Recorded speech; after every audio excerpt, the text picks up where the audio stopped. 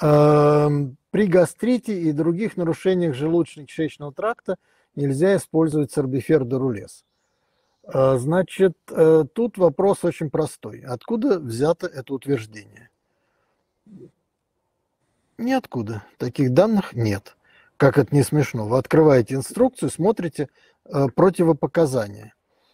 Относительным противопоказанием для сорбифера является язва желудка или 12-перстной кишки. Но относительным, не абсолютным. Почему при гастрите нельзя? Что такое гастрит? Э, так сказать, с чем связано? Не могу сказать. Если передозировки, так это совсем другая тема, там не гастрит, там поражение э, кишечника идет, но это сколько ж надо съесть, целую пачку съесть, чтобы получить такие осложнения. Вот, поэтому про гастрит забудьте, это абсолютно неверное утверждение.